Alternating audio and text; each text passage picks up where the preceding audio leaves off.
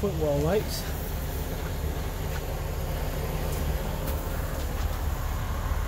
Love the LED lights. That's very nice. Comes with a fridge. Nice little fridge. Got a little mini freezer right there. Like the little captain seats for the table. Not bad lighting.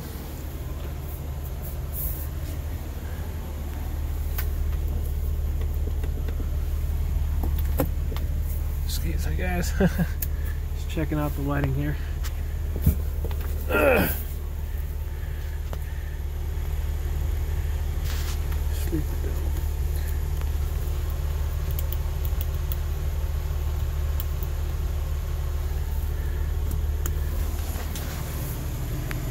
Still no light. Oh, there's the footwell. There, look at that. You got orange instead of red.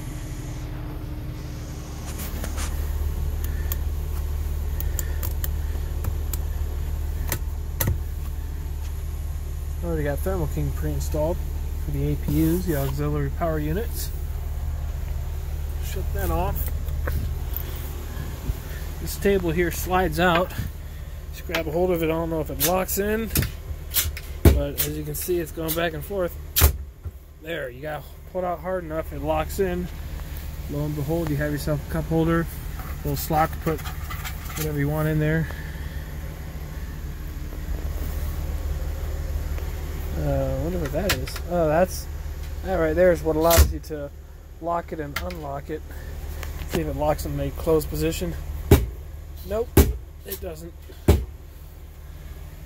Looks like right here you can even recline the seat, so that's pretty slick.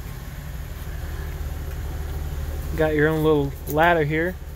Just got a little handle here, I assume. Just gotta push it in, and then lo and behold, out is your ladders. When we get to the other side, we'll check out the top cabin.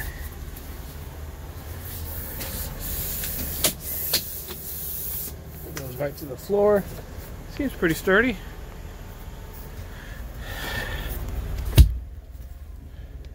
Plenty of space up here. Smaller than a twin, but it does the job. Speakers are pretty good.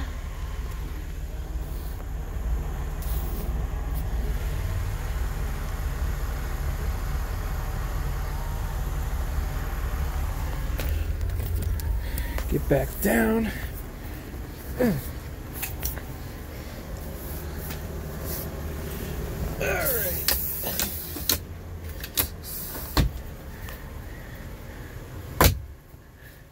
in there. Got a little area for your microwave. Got a TV mount. It's pretty cool. It's even got a uh, 12 volt outlet right there.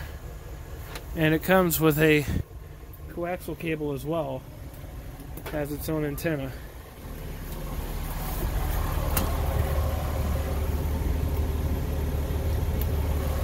Just overrided the shutdown.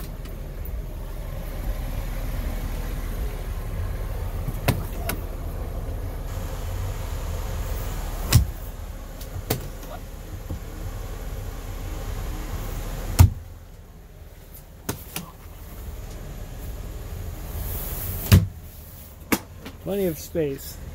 You can bring your whole house on board. Got cubbies for days. It'd be nice if they had a little light in there. Just have to install your own. Little stick-on lights with the batteries. You got a seat adjustment right there as well. And uh, you got another 12 volt outlet down there as you do over there as well. The whole bed just folds down uh, right here as you can see that's the whole outline of the bed let me increase the exposure for you this is not wanting to do much. Got three cup holders. Freightliner still keeping the little hook here if you want to put your keys or your trash bag or whatever there. It says pull right here so you can pull on that to get to your fuses. Nice little pouch put your magazine or whatever in.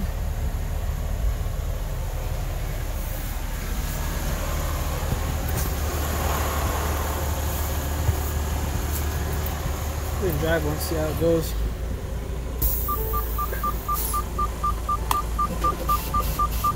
Very knowledgeable about what's going on. See if it lets me go. Yep, it still does.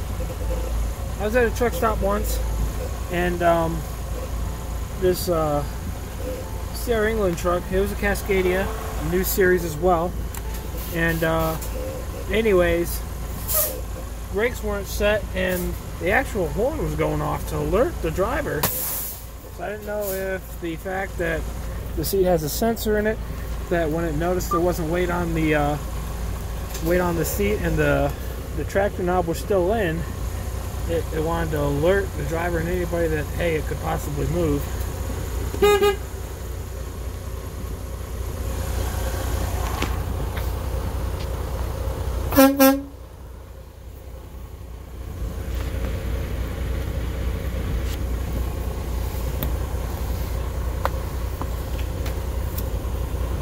Fresh from the factory.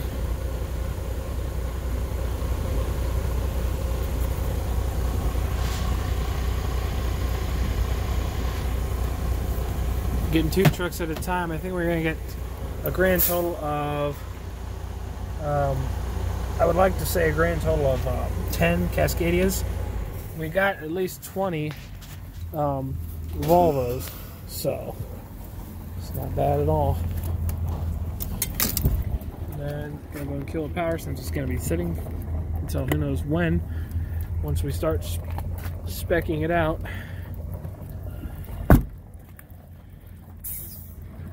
Get a look at that.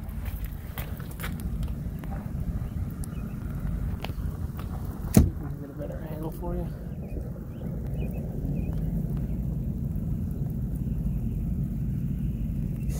Daimler. I wish Chrysler was still with them. Chrysler made a big mistake when they went to Fiat, but money talks. We've got the flow below aerodynamic skirting, helps improve fuel economy.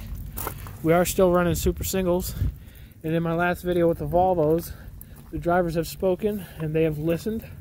We've now got dual interlocking axles, and as usual, we have disc brakes, which is really nice. She's a virgin. There's only 700 miles on it. She's uh, got a long life ahead of her. Either we put the uh, APU on ourselves, or it already got installed before we got the truck. Usually we install the stuff ourselves to save the uh, cost of labor. Shiny old fuel tanks. I like how they got them right in the back now. It's the way it should have been instead of having it midway in the cab. brand new. You can't beat it. I even like the LED utility lights. That's pretty nice. You got four lights, four little SMDs per uh, housing. One thing I could care less for is the low skirting that they have. If you look right here, that skirt, the bumper isn't even a half inch from touching the ground. So that's just the way it is. Not one of their best designs in my opinion, even though they're trying to get fuel economy. Half the time those get ripped off. So that's what it is. Anyways, hope you guys enjoyed this. Thanks for watching.